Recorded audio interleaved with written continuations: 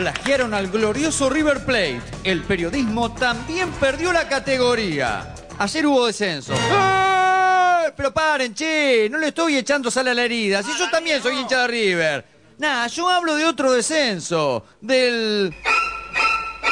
Descenso mediático.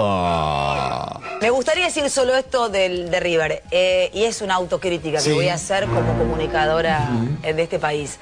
Realmente eh, me pareció de una violencia como el medio trató la tragedia, la tragedia, una locura de River con imágenes, con la música así como intencional. Parecía que quería que la gente se mataran todos contra todos. La verdad que, sinceramente, yo soy de Boca. Me angustió ver lo que le pasó a la gente de River. La verdad, hago una autocrítica como laburadora de este medio. Me dio vergüenza la violencia y la agresión de verdad con la que el medio, los, los canales transmitieron y los programas todo lo que pasaba. Realmente querían que la gente se matara definitivamente en, en la cancha el, el domingo. Me dio vergüenza ajena. Aclarémoslo tanto, repudiamos de lleno la actitud de los inadaptados que hicieron los destrozos, pero una cosa son los barras que fueron a bardearla y otra muy distinta son los hinchas que fueron a alentar a su equipo y que eran la mayoría. Lo digo porque algunos metieron a todos en la misma bolsa y de paso le metieron un poquitito de ficha al tema de la violencia. Los hinchas explotaron con el descenso del equipo. El fantasma de la B se corporizó y sembró bajón y furia en Núñez. Gente que sale, toma carrera, junta proyectiles y vuelve a arremeter contra la policía. En los accesos a la tribuna Belgrano también. La policía está desguarnecida, cara a cara con los hinchas. Una guerra mano a mano. Cuerpo a ¿eh? cuerpo. Una batalla mano a mano. Mirá cómo encaran. salida violenta de parte de los hinchas riverplatenses que no pueden comprender lo que ha sucedido adentro de la cancha. Yo lo que quiero rescatar es el comportamiento de la mayoría de los hinchas.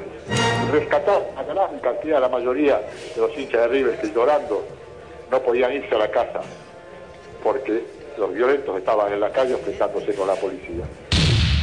Ayer algunos canales, algunos con mayor sobriedad, otros buscando la proliferación de la violencia que les sirve. Hay quienes en estos momentos necesitan mucha violencia para entregarla en sus pantallas porque es de la hora mostrar un país desquiciado. Cuando hay una gran conmoción, no se sabe exactamente cuál es la ayuda en ese desorden, en ese show de violencia que la televisión propone. Es muy triste lo que nos ocurre desde hace bastante tiempo. ¿Cómo no va a salir la gente a romper todo si tengo perfectamente claro que en TN hace tres días dejaron durante minutos interminables una bandera que decía matar o morir? La bandera del miedo. Esta bandera fue armada, fue abierta en la concentración de River, allí en el Hindú Club. Matar o morir, reza la bandera. La presión de los hinchas cada vez es más fuerte. ¿Qué es eso sino una invitación a la violencia? Lo chuparon a River, lo chuparon al fútbol argentino en su neoliberalismo total. El frenesí de los comunicadores por manijear el partido de ayer como la secuela de Comando no tiene desperdicio.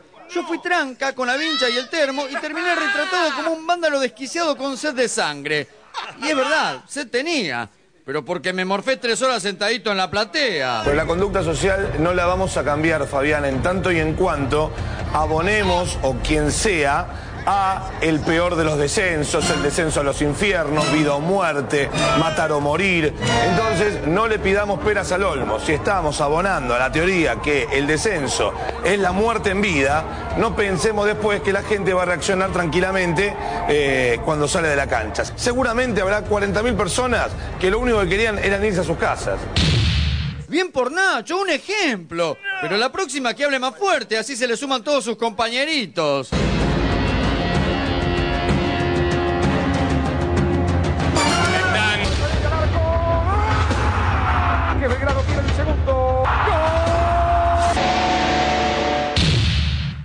Estamos hablando de los medios que inducen a la violencia, ojo, también le recomendaría chequear la ortografía, ¿eh? Porque a veces un error puede ser tomado como la peor ofensa. En la adversidad, Totti, tenemos que demostrar grandeza a partir de este momento que trabajar en la reconstrucción de River. Y hoy con el amanecer llegaron los noticieros y con los noticieros llegaron los golpes bajos. Miren el infumable despertar que nos regalaron con este clip del pastillero de Coti. Fuiste un tango puro y duro, escrito en un papel oscuro que no quiero ni cantar. Nah, para, es re blandito. Metele máquina, rock and roll. Tráeme al editor psicótico para que me corte esto con uno de esos temitas que pegan lindo a las 8 de la mañana.